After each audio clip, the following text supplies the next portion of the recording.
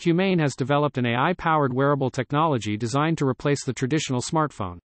The device, a small black puck with a camera, projector, and speaker, can answer phone calls, translate languages, provide advice, and more.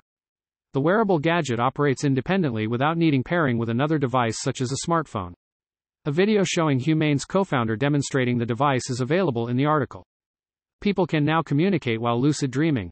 Lucid dreaming is when the dreamer can manipulate what happens in their dream. Sleep expert Michael Raduga of Phase Research Center has developed Remmyo, a language for communicating while lucid dreaming. Remmyo consists of six sets of facial movements which are detected by electromyography sensors on the face. These signals are transferred to software that can type, vocalize, and translate Remmyo. Python has an extensive standard library with many modules and functions included. However, there are also important third-party libraries that should be used in all Python projects. This article lists essential Python libraries that should be used in all Python projects. It covers libraries for general use, data validation, debugging, testing, and more. LLM is a Rust ecosystem made of libraries that help in performing inference on large language models. It is based on llama.cpp. LLM includes a wrapper around LLM base and supported models and a CLI application that offers a user-friendly interface for running inference on the supported models.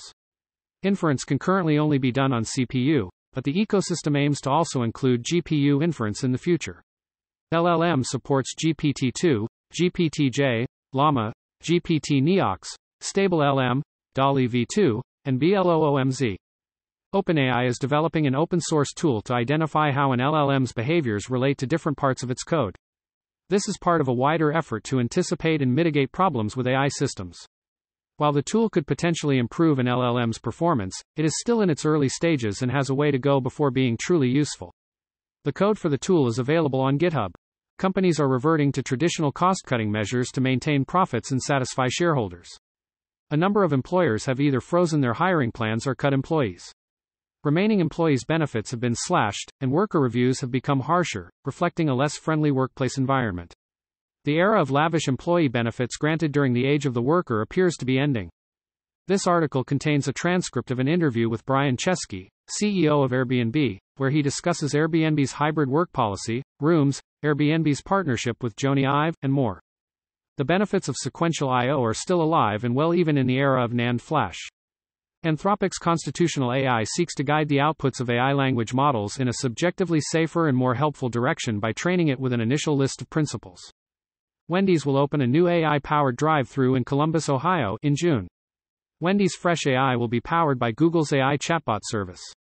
The chatbot will use voice recognition to take orders from customers. A human employee will monitor the service to ensure that it is working correctly. Customers will have the option to speak with a human if needed. Wendy's is not planning to replace existing workers with the technology.